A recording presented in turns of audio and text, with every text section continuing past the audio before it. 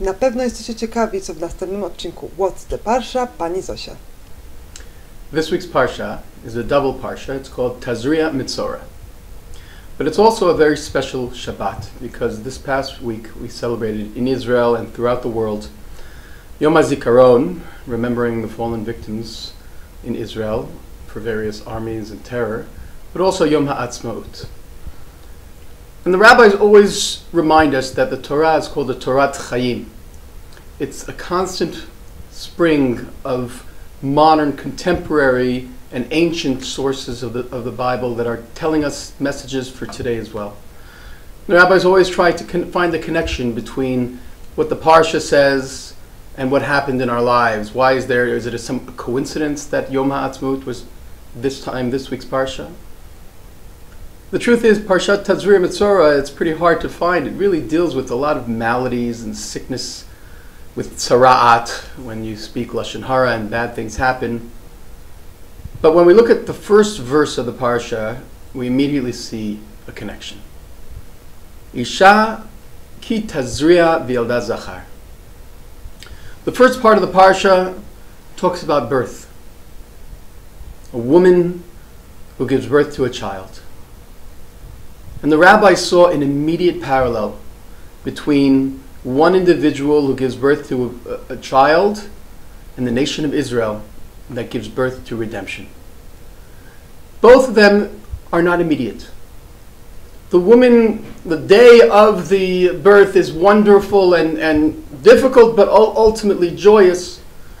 But it's after nine long, painful months of ups and downs, of complications, of depressions and mood swings, which ultimately bring that great, beautiful new life into the world.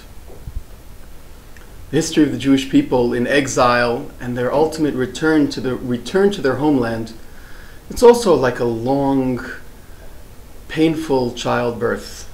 The de- redemption begins with a seed, begins with one small moment, just like Isha ki tazria v'yalda zachar. That seed you can trace through different parts, but certainly in the 20th century with the vision of Theodore Herzl and the notion that the Jewish people need their own homeland, that began. That was a moment. And that moment continued and started to grow and started to develop. And 67 years later, look what we have accomplished. Most of the Jews are in their homeland. People are learning Torah and living their lives, and there's freedom and there's democracy. And, of course, there's struggle. And of course, there are complications, there are battles. But we're, we've come so far. And yet the rabbis put into our sidurim and our mindset that we're just at the beginning.